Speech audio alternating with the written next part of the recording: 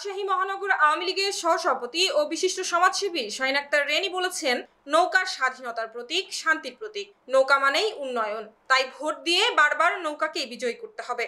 রবিবার বিকেলে Rajshahi city corporation নির্বাচনে বাংলাদেশ আওয়ামী লীগ মনোনীত ও চোদ্দ দল সমর্থিত মেয়র প্রার্থী এইচ এম খায়রুজ্জামান লিটনকে বিজয়ী করার লক্ষ্যে আঠাশ নং ওয়ার্ড আওয়ামী লীগের আয়োজনে এলাকাবাসীদের সাথে নির্বাচনী মতবিনিময় সভায় প্রধান অতিথির বক্তব্যে এসব কথা বলেন। এ সময় তিনি আরও বলেন, নৌকা হচ্ছে স্বাধীনতার প্রতীক।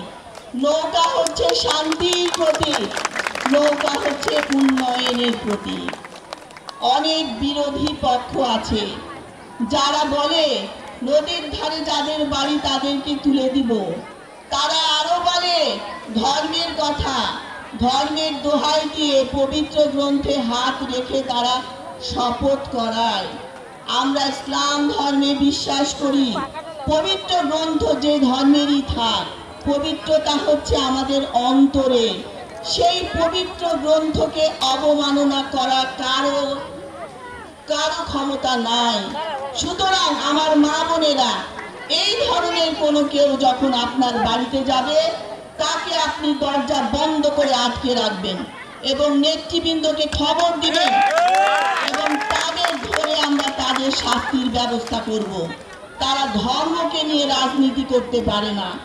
রাজনীতি রাজনীতির জায়গায় থাকবে। আপনারা আপনাদের নিজস্ব মতামতগুলি কোনো বিভ্রান্তির তথ্যে আপনারা বিচলিত হবেন না।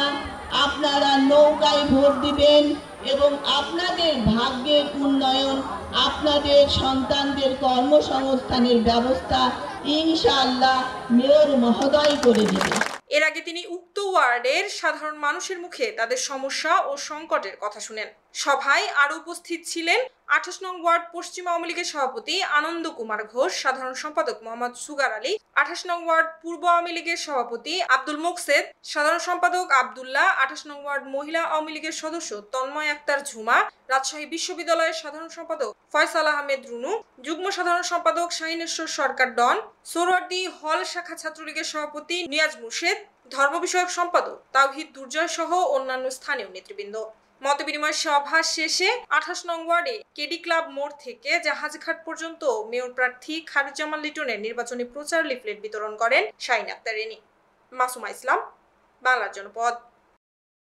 ইলেকট্রনিক ভোটিং মেশিন ইভিএম এ ভোট প্রদান প্রক্রিয়া।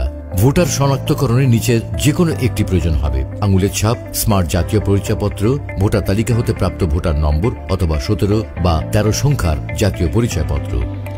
আঙুলের ছাপের মাধ্যমে ভোটার যাচাই নিশ্চিত করতে হবে। ভোটার যাচাই শেষে গোপন কক্ষে প্রবেশ করে ব্যালটে পছন্দের প্রতীকের পাশের সাদা বোতামটি চাপুন এবং ভোট নিশ্চিত করতে সবুজ বোতামটি চাপুন।